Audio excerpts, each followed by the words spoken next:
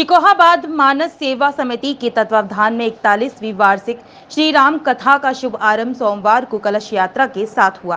Band बाजों की धुन पर निकले भक्तजनों ने शहर की राहों को भक्तिमय कर दिया। श्री मानस सेवा समिति द्वारा मेला वाला बाग स्थित मानस भवन पर श्री राम कथा का आयोजन किया जा रहा है।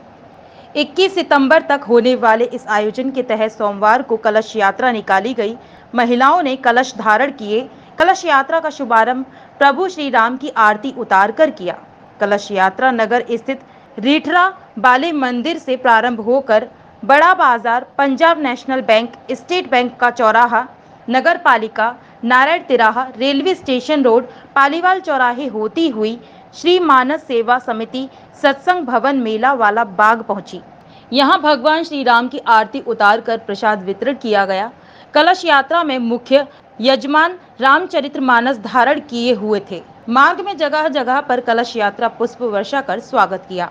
कलश यात्रा के दौरान गणमान्य व्यक्तियों द्वारा जलपान के रूप में जगह जगह जूस, दूध, पानी, कोल्ड ड्रिंक सहित कई अन्य खाद्य पदार्थ वितरण किए जा रहे थे। कलश यात्रा में राम प्रकाश गुप्ता, संजीव अग्रवाल लाला, संजीव अग्रवाल केशव गुप्ता, अमीन सुखवीर सिंह, रामशरण पाल नंद किशोर अग्रवाल, संजय गुप्ता, राजवीर सिंह, नगर अध्यक्ष विशाल गुप्ता, ओबीसी मोर्चा जिला अध्यक्ष सुशील यादव, अरुण गुप्ता, अतुल गारमेंट, अतुल गुप्ता, नवीन अग्रवाल, कुलदीप गुप्ता, शेखर अग्रवाल सी वरुण सिंह, सोनी गंभीर, विकास, गगन कठेरिया, मोहित बंसल, सुशील जैन, विकास जैन आदि शामिल थे। अतुल गुप्ता ने बताया कि कथावाचक बरसाना धाम साध्वी जयप्रिया, दीदी कथा का रसास्वाद।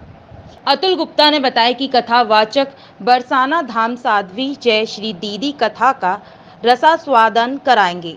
राम नाम सुंदर करतारी, संशय विहग उड़ावनहारी श्री मानव सेवा समिति शिकोहाबाद द्वारा इकतालीसवीं श्री राम कथा का आज मंगल कलश यात्रा के साथ शुभारंभ हुआ। कलश यात्रा नीठा वाले मंदिर से प्रारंभ होकर और मानस पीठ मेला वाले बाग पर इसका विश्राम हुआ। कलश यात्रा में आज लगभग लगभग एक सौ इक्यावन सौभाग्यवती महिलाओं ने कलश में शामिल, सम्मिलित हुई और कल यानी दिनांक तेरह सितंबर से रोज एक से पाँच बजे तक नित्य कथा का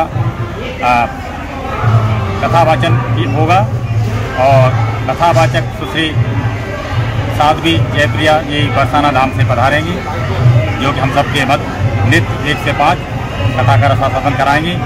मेरा समस्त भक्तजनों से, सभी संतजनों से सही धर्मप्रियों से ये विनम्र अनुरोध है कि वो नित्य कथा का श्रवण करें और तनमन धन से अपना श्री मानस सेवा समिति को सहयोग दें। सादर जय श्री राम।